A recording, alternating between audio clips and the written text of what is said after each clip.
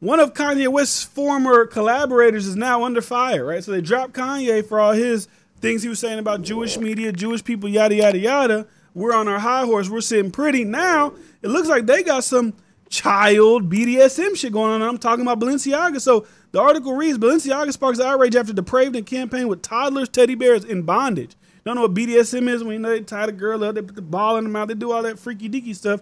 So apparently Balenciaga is doing a campaign with children uh, that have teddy bears that have BDSM on them. And there's also another little wrinkle into this story. So uh, high fashion brand Balenciaga is facing backlash for an ad campaign that features photos of child models holding teddy bears dressed in bondage gear. The brand also used an image of a Supreme Court opinion and child pornography case as a prop promoting a handbag. So just to get that back to you. Toddlers, bears with bondage, documents hidden, but you can still see. So obviously, I want you to see of a Supreme Court case about child pornography. That was you got to think that's meticulously placed there for a reason. Because who's who at Balenciaga is thinking, thinking, thinking, thinking, thinking, oh shit, do the do the Supreme Court with the child porn and put it right there, and then oh shit, the bear got the bondage, you got it wrapped up, and they ain't got they ain't got the ball in his mouth, but they doing it, and it's a toddler. Whose whose ideas are these? They should be ousted. Y'all ousted Kanye. I get it. Did you think y'all wasn't fucking with it? Cool. Whoever's idea this was, we need to put them out front and center. Oust them. Get them out of here. Child porn Supreme Court. Bondage teddy bear. What's going on here? So, in the, anyways, the photographer that ad campaign, Gabriel Galimberti, said the images were part of a project series called Toy Stories.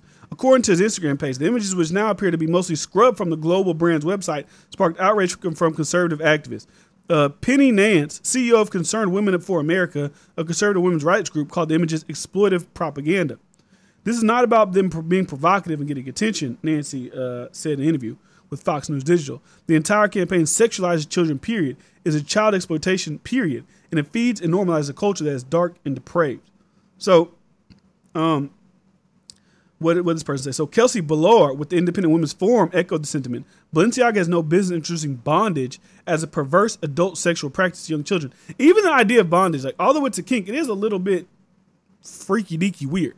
So even like for you to go to bondage to children makes you look a lot more what what they say, quote unquote, depraved. So worse than the fashion house is using these images to advertise its products, essentially profiting from the sexualization of children. The desire to sexualize innocent children is a disturbing trend that has emerged in today's culture and that is twisted and disturbing example.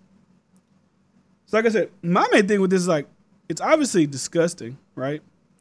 It's obviously crazy because it's not even like just the bondage thing is one thing, right?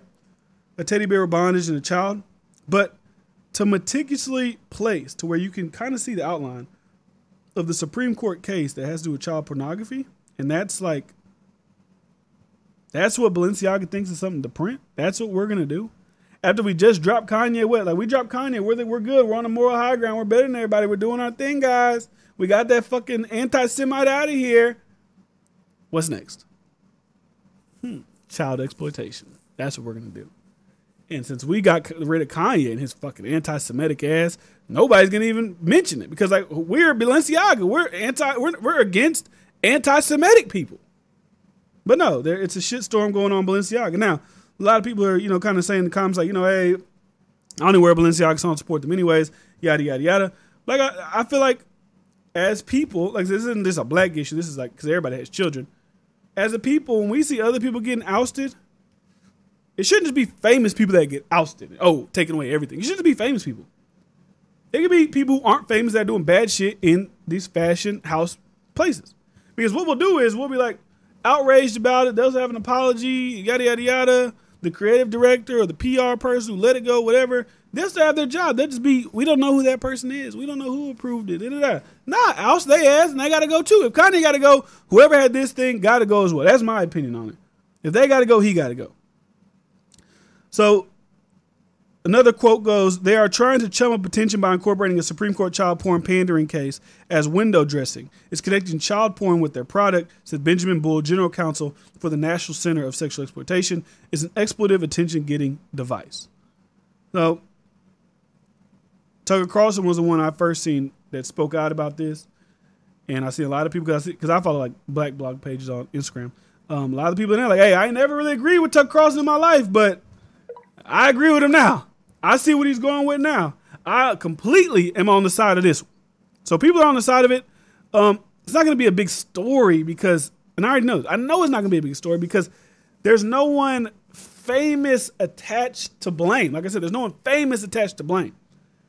Balenciaga is a corporation. We tend to let corporations get away with a lot of shit. If this was, let's say Kanye West again. If Kanye, if this is Kanye West, Balenciaga by him collab, and we saw that, Kanye West would be getting killed for this. But since Balenciaga is his corporation, oh Balenciaga, I need the Balenci and this and that. It's gonna kind of people they're gonna talk about it, but I don't think nothing's gonna happen. Oh, we just scrub it. Oh, it never happened. No, no, it happened. I don't know why y'all thought y'all could try to slide this in there. I don't know if you see oh how society is going with kids and what I don't know what you thought was going on. Maybe they thought they could just slide it by, but you can't just slide it by, buddy. You got to keep that shit away from everybody.